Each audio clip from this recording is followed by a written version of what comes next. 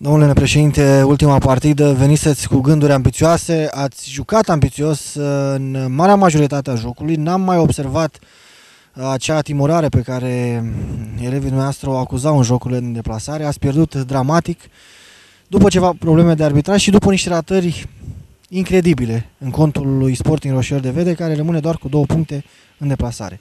Meciul de la Vișina 9 trage cortina peste turul de campionat, Uh, sunteți supărat acum, dar vreau să vă întreb uh, dacă ar fi să ne oferiți câteva concluzii după acest meci, care ar fi?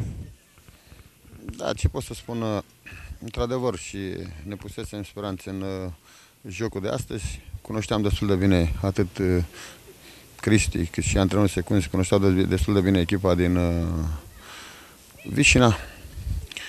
Se pare că totuși ne lipsește în continuare acel om de gol. Ați văzut și dumneavoastră multe ocazii.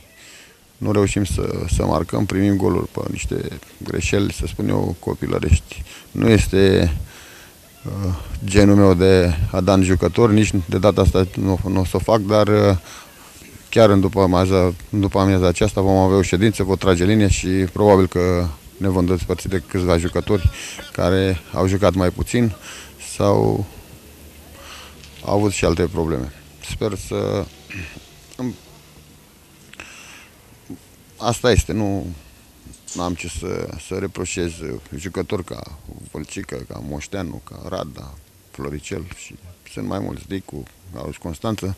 Se pare că probleme avem la, la jucătorii tineri și vom căuta în iarnă să completăm lotul cu 4-5 jucători. Vor pleca unii, vor veni alții.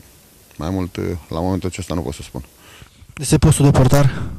Uh, avem, avem variante, am discutat și cu, cu Celic, am o discuție și cu Celic și cu cei de la turnul, avem variante și acolo, deci la postul de portare va fi ultima problemă care la nouă ne trebuie un vârf de gura porții și doi juniori care undeva să facă diferență în, în fața porții.